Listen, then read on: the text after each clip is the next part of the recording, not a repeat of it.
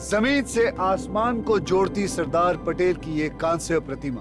प्रमाण थी कि भारत न सिर्फ़ दुनिया के सबसे ऊँचे स्टैचू को बनाने का दम रखता है, बल्कि उसका निर्माण भी एक रिकॉर्ड तेज़ी से कर सकता है।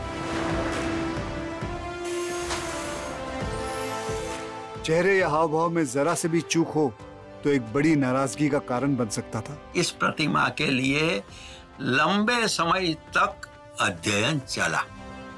हमने सैकड़ों और हज़ारों फोटोग्राफ को देखा और जांचा लगभग एक वर्ष के समय तक। इस स्टैचू का डिज़ाइन 180 किलोमीटर विंड स्पीड भी झेल सकता है।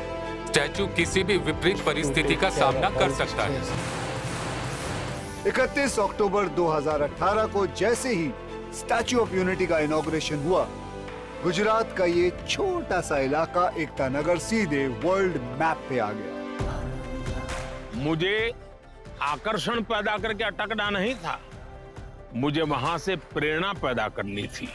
और इसलिए, जैसे बनाने से पहले एकता का मंत्र था, बनते समय एकता का मंत्र था, बनने के बाद भी उस पूरे परिषद को भारत की एकता का तीर्थ स्थान बनाने की मेरे मन में कल्पना रही।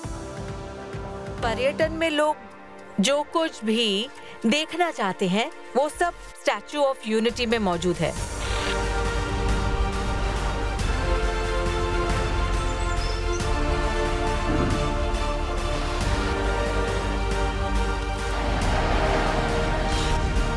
किसी क्षेत्र के सामाजिक आर्थिक विकास में सुधार तब होता है जब आपके पास इस प्रकार की ऐतिहासिक संरचनाएँ हो या लैंडमार्क डेवलपमेंट हो। बहुत बदलाव आ गया है। जो लेडीज़ लोग घर से बाहर अकेली कभी नहीं जाती। अभी दो पैसा कमा के घर में लाती है तो बहुत तो इसकी तारीफ़ भी होती है घर में। बहुत कुछ बदल गया। सोच भी नहीं सकते कि हम ऐसा कुछ बदल गया है मेरे जीवन में गया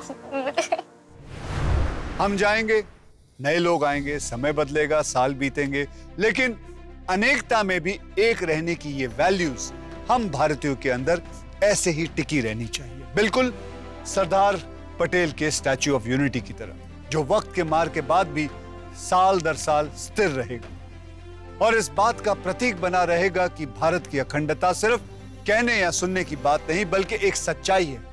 वो सच्चाई जो पीढ़ी दर पीढ़ी हमने संभाल के रखी है।